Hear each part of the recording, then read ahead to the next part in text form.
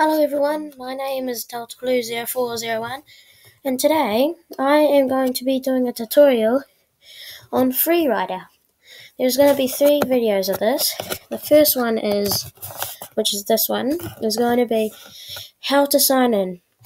Now first of all, to do it, you go up here, press sign up. You put in your username you want, your email, and I'm pretty sure this might be your password for your email. That's what I'm sure. Or you sign in with Google or Facebook. I do Google. Then there would be your saved accounts, or you can do add account.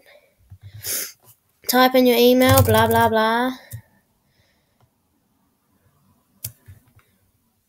And then next put in your password, and then you press sign in, and then you're signed in. That's all there pretty much is to it. So, there you have it.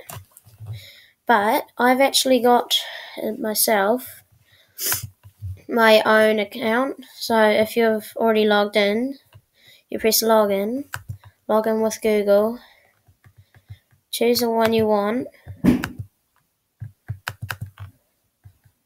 Which it should be doing it. No, it's not.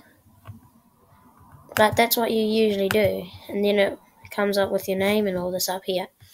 And then there you are. That's how you sign in. Thank you very much for watching. And goodbye.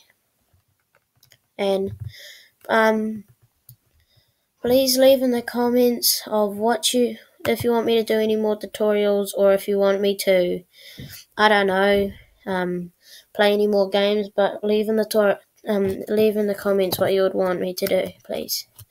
Thank you very much for watching and goodbye.